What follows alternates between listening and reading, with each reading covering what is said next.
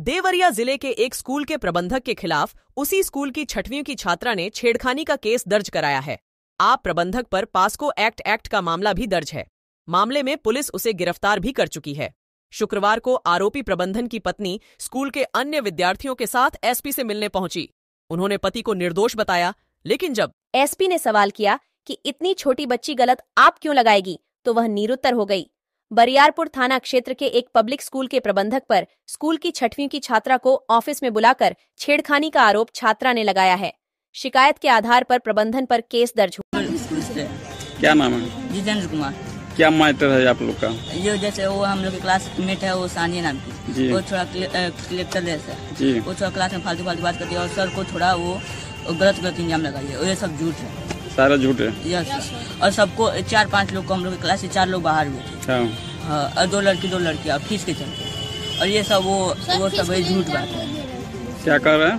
Fees के लिए exam नहीं देते फ़ीस के लिए मामला ये सब अब क्या आप क्या कहेंगे बाबू?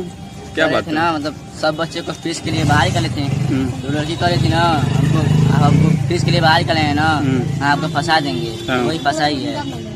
ये मतलब गलत इंजाम लगा दिए। और वो कह रही थी कि स्कूल बंद करा के रहेंगे क्लास में पूरा गई थी। क्या कहते कही थी हम स्कूल बंद करा के रहेंगे। अच्छा।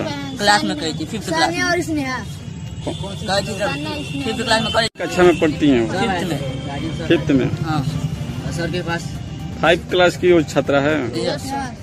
ठीक। शिकायत इस मामले में जेल गए प्रबंधन की पत्नी शुक्रवार को अपनी निजी वाहन से करीब 20 छात्राओं के साथ एसपी ऑफ़िस पहुँची। उन्होंने पति को फंसाए जाने की दलील दी। उनकी बात सुनने के बाद एसपी संकल्प शर्मा ने सवाल किया कि इतनी छोटी बच्ची क्यों झूठ बोलेगी? उसकी क्या अदावत है? इस एक ग्राम प्रधान की पत्नी ने बताया कि कुछ बच्चों की फ़ीस नहीं जमा है और इसकी के चक्कर में उसने फंसाया है।